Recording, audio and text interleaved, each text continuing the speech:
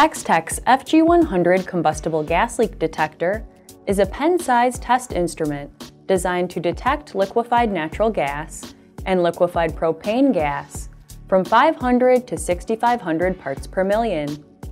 Equipped with both audible and visual alarms, the FG100 notifies users of the presence of combustible gas leaks in the immediate environment. Alarms are triggered when measurements reach the lower ppm threshold. Additional features include continuous operation for up to four hours, high sensitivity detection circuitry, a rugged, compact design for portability and field work, and it's complete with batteries and a protective sensor cap. For this and more products from Extech, visit galco.com.